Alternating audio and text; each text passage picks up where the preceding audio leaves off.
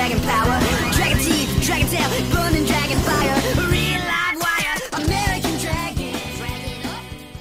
Hello everyone, just a quick preview of update 2.7.0. This is partially based on BlackniumReD's video. Link to his video will be in the description below. Before we get to the preview of this update, I want to warn you guys that the update is coming really soon. The devs announced that we will have one last battle on Monday 8pm GMT, which will either be a small update that will turn the Stranger's Riddles into a part 2. If you have solved all of the 9 riddles, you'll get to participate in something special, or it will bring that event to an end and bring about update 2.7.0 with the castle. The devs posted a teaser of this image. When viewing the original or downloading the image, it's named Castle, which is really interesting because looking at the roadmap, the castle by the river is not next in line, but then again, neither was the co-op border boss, so there's the possibility that they could just be shuffling things around. Although it is hard for me to imagine that they're also skipping the addition of daily quests. I actually think that it could still be the Torturers dungeon based on the image and the little 2D sketch on the roadmap. There's nothing really castle-like about the teaser picture, so maybe the devs just fudged up the name of the file because English isn't their first language. The next thing I'd like to address is that BlackniumReD said that it could be a temporary thing that shows up as an Act Quest location, the castle in the north, or a new location on the mainland. If anything, it would be a new location on the mainland.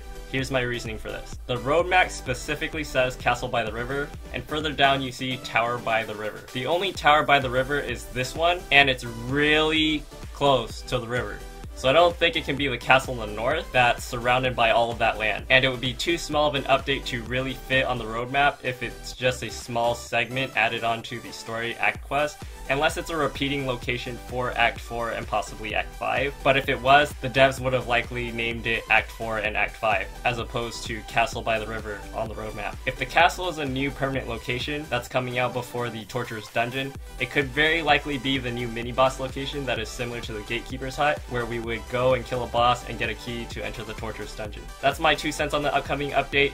I hope you're all looking forward to it as much as I am. Remember to finish up the Stranger's Riddles if you haven't already, and to like, share, and subscribe to stay up to date with Grim Soul content. And last but not least, remember, I will always love you.